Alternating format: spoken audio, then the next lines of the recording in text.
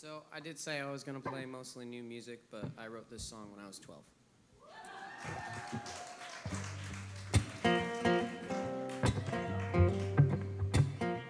It's probably my first bluesy song I ever wrote.